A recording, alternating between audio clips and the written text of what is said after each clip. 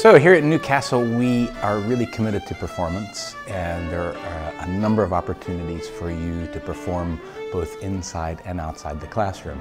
So every first year student is required to take a performance module, performance studies. And that can either be one-to-one -one tuition on a classical or a pop instrument or a folk instrument, or it can be collective performance.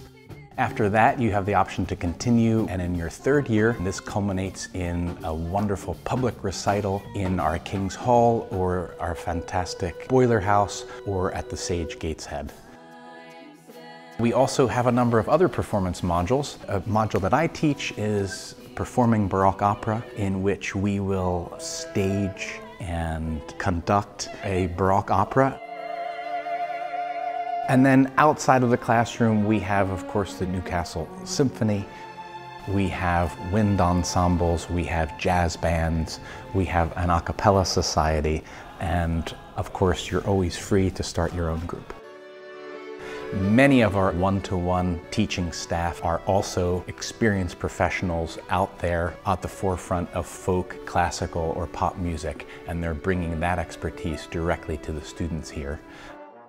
And so if you're considering coming to study music at Newcastle, I think you're going to be hard put to find any other institution that matches our diversity, performance opportunities, talent of staff, and facilities.